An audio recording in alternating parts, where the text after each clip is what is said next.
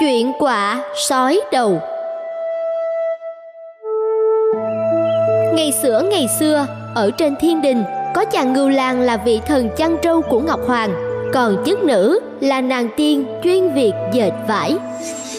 Ngưu lang say mê nhan sắc của chức nữ, còn chức nữ thì lại cuồng si tiếng tiêu của chàng. Số vải cần cho lễ nguyên tiêu sắp tới đã chuẩn bị đủ chưa? Bẩm Ngọc Hoàng, hôm nay đã quá hạn một ngày mà chưa thấy nàng chức nữ mang tới ạ. À? Vậy sao? Ôi trời ơi, trâu ở đâu mà lại đi lạc vào điện Ngọc Hoàng như thế này? Còn ở đâu được nữa? Đúng là không còn ra thể thống gì nữa. Hiện giờ bọn chúng đang ở đâu? Ý người là...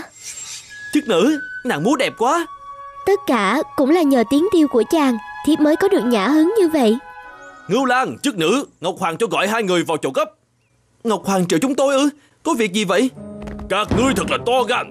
Ngưu Lan, ngươi vì mãi mê sắc đẹp của chức nữ, bỏ bê việc chăn trâu, khiến trâu đi lạc vào điện Ngọc Hư, làm náo loạn nơi đây. Còn chức nữ, thân là cung nữ dệt vải ở thiên đình, nhưng lại si mê tiếng tiêu của Ngưu Lan dẫn đến trễ nải công việc. Hôm nay đã quá ngày nộp thành phẩm rồi mà vẫn chưa thấy người vào. Thần, thần biết sai rồi ạ, à? xin Ngọc Hoàng tha tội.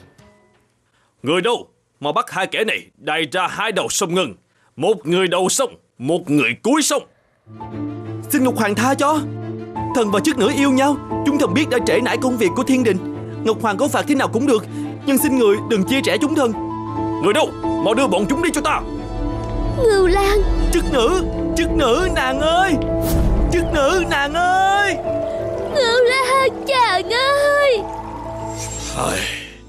Thực tình mà nói thì tình cảnh của họ cũng thật đáng thương. Nhưng đã có tội thì không thể tha thứ. Truyền lệnh của ta Nể tình hai người bọn họ có tình cảm sâu sắc. Ta ban cho đặc ân Là một năm cho bọn họ gặp nhau một lần Vào ngày mùng 7 tháng 7 Vâng thưa Ngọc Hoàng. Nhưng bẩm Ngọc Hoàng Hai người họ ở hai đầu của con sông Ngân Người định cho họ gặp nhau bằng cách nào ạ? Trên sông Ngân không có thuyền bè qua lại Ngươi hãy cho gọi các phường thợ mộc ở dưới Trần gian lên đi. Ta sẽ giao cho bọn họ làm một cây cầu bất ngang Ngưu Lan và chức nữ sẽ gặp nhau trên cầu Thần tuân chỉ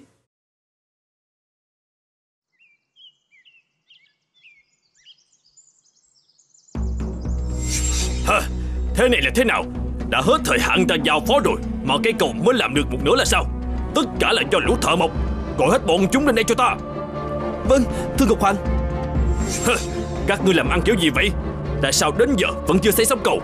Chắc tại do sông Ngân dài quá Nên chúng thần mới làm chậm trễ không xong mà. Xin Ngọc Hoàng à, bớt giận cho chúng thần thêm thời gian? Các ngươi đã làm sai mà còn giả biện à? Ta đã cho người điều tra rồi. Các ngươi làm việc không đồng nhất Mạnh ai người nấy làm Không ai chịu sự chỉ huy của ai. Rốt cuộc mỗi người một ý. Chính vì vậy đến kỳ hạn mà chiếc cầu vẫn không xong. Tất cả là do lỗi của các ngươi Ta phạt các ngươi biến thành những con quạ đen xấu xí? Từ giờ không cần xây cầu nữa.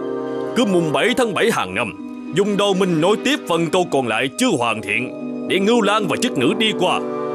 Tất cả là tại các ngươi. Nếu không vì các ngươi lười biến không chịu hợp tác Làm việc tử tế Thì chúng ta đã không bị biến thành quả. Tại ngươi thì có. Sao ban đầu ngươi không đứng ra chỉ huy mọi việc Giờ còn trách móc gì? Ngươi chết đi. Ngươi mới phải chết. Lũ quạ xấu xí kia Đợi đến ngày mùng 7 tháng 7 Các ngươi hãy đi làm nhiệm vụ của mình đi.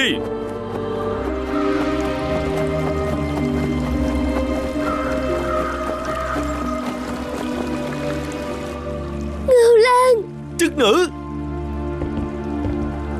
Cuối cùng chúng ta cũng đã được gặp lại nhau rồi. Thiếp nhớ chàng quá. Ta cũng nhớ nàng lắm. Ta cứ tưởng rằng cả đời này không được gặp lại nàng nữa. Chiếc cầu dưới chân chúng ta là một đám đen ngòm lúc nhúc Trông đến là gớm ghiếc.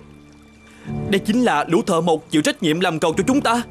Vì làm không đúng kỳ hạn Nên bị Ngọc Hoàng phạt biến thành quả đó mà. Bọn chúng còn rất hôi hám nữa. Con nào con nấy nhìn xấu xí và dơ giấy quá. Thiếp dẫm lên đầu chúng đi qua cầu cũng thấy ghê ghê. Lũ quả đáng ghét Đã làm mất hứng của nàng rồi.